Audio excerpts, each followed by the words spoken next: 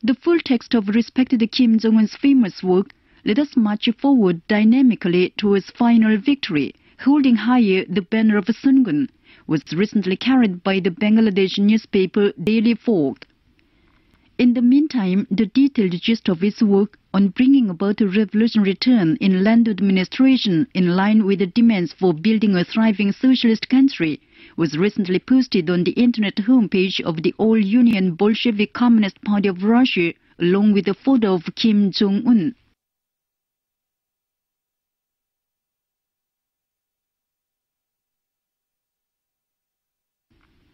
Respected Kim Jong-un received congratulatory messages and letters from different countries on the occasion of the New Year Juche 102 or 2013. The senders include the President of the Federal Democratic Republic of Ethiopia and party leaders of different countries, including Malaysia, Bangladesh, Germany, Russia, Benin, Egypt, Mexico, and Peru.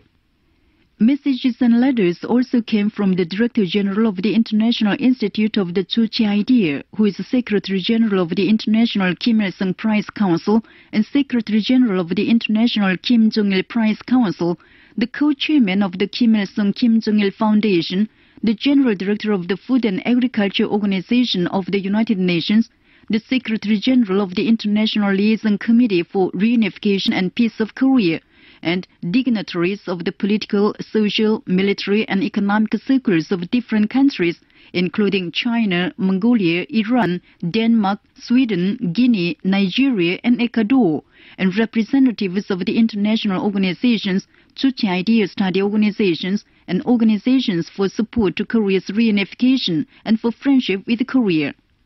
The messages and letters said the Korean army and the people won brilliant victories in the revolutionary struggle and construction and demonstrated the might of perfect unity more powerfully last year in firm unity around Kim Jong-un.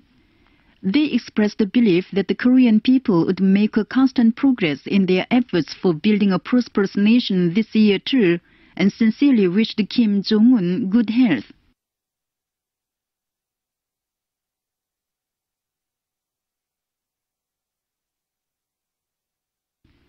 The Mexican Committee for the Study of Kim Il-sungism, Kim Jong-ilism, the Mexican Institute of the Juche Idea, and the Bangladesh Group for the Study of Sungun Policy recently carried the detailed gists of the New Year address of respected Kim Jong-un in their bulletins.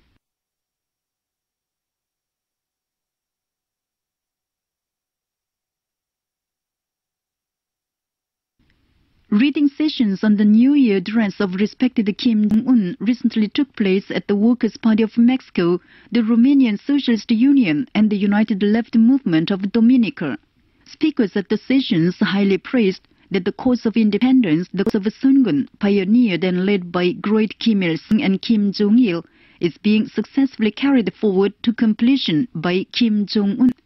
They expressed full support to the tasks and ways for the building of a thriving nation and for national reunification indicated by respected Marshal Kim Jong-un in his New Year address.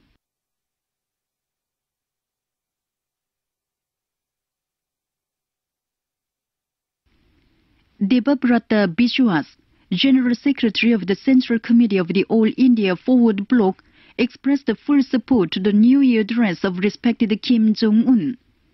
At the talks with the DPRK ambassador extraordinary and plenipotentiary to his country on the 10th, General Secretary Biswas said the historic New Year address of respected Kim Jong-un, the supreme leader of the Korean people, shook the world. It is a great honor and pride of the Korean people to have Kim Jong-un at the head of the party, state and army, who is steadfastly carrying forward to completion the revolutionary cause of the great Kim Il-sung and Kim Jong-il. The victory of the Korean people in their revolutionary cause is certain thanks to the outstanding and seasoned leadership of Kim Jong-un, he stressed.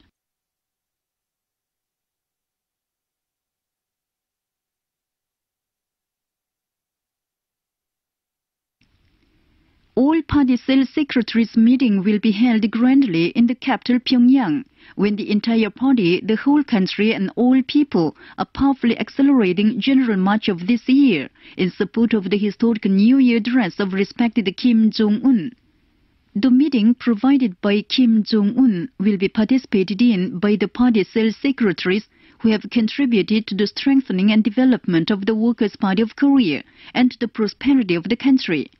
Now, recommendation of the participants and the preparations for the meeting are underway in the whole party.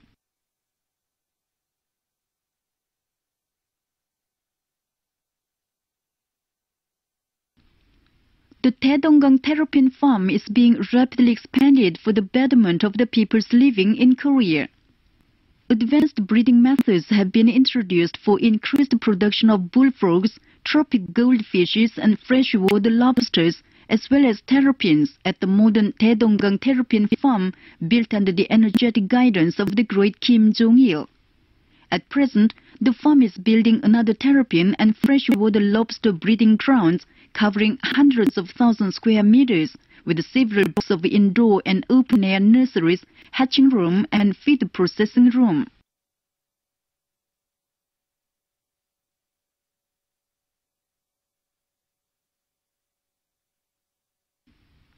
Tideland reclamation projects are actively promoted in the Democratic People's Republic of Korea.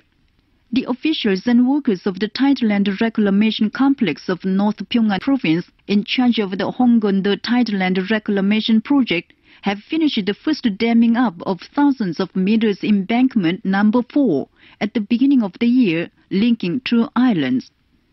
On the other hand, the officials and builders of the Ryongmae-do Tideland Reclamation Project have removed more than 10,000 cubic meters of earth and done stone coating in the area of hundreds of square meters in recent days, building tens of meters embankment on the sea.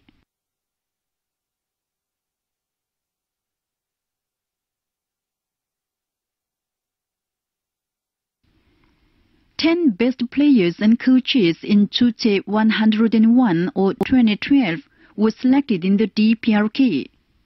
The best players are judoist An Kum-ae, weightlifters Kim Un-guk, Om Yun-chul, Rim Jong-sim and Liang Chun-hwa, boxer Park Kyung-ok, wrestler Yang Kyung-il, gymnast Lee Se-kwang, and model plane operators Lee Kwang-il and Kim Won-chul. They proved successful at the 30th Olympic Games, World and Asian Championships, and at the international and national games last year. The best coaches include Ryu Chu-song, Park Ki-song, Lee Chun-kyung, and Kim Chun-hee, who are in charge of DPRK judoists and weightlifters during the 30th Olympics.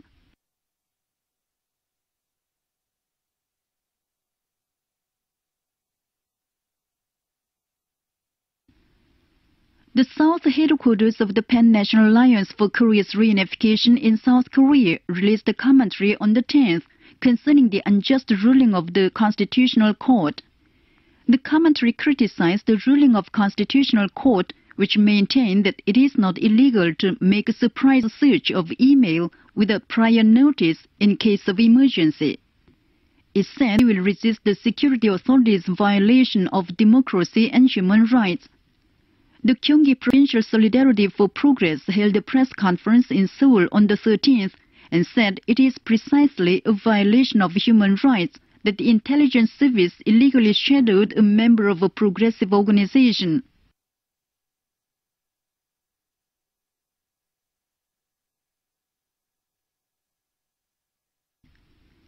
A joint statement was recently issued by five political parties and organizations of Belarus, including the Communist Workers' Party, the Social Federation for the Union and Union's Communist Party, and the Belarus DPRK National Fellowship Association, named after Kim Il-sung, in support of the Korean people's cause of national reunification.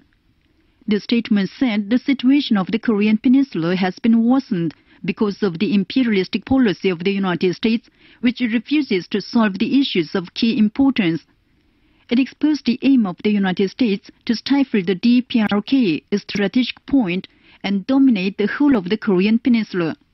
The statement gave an active support to the Sungun policy of Korea, which fuels the military aggression of the United States.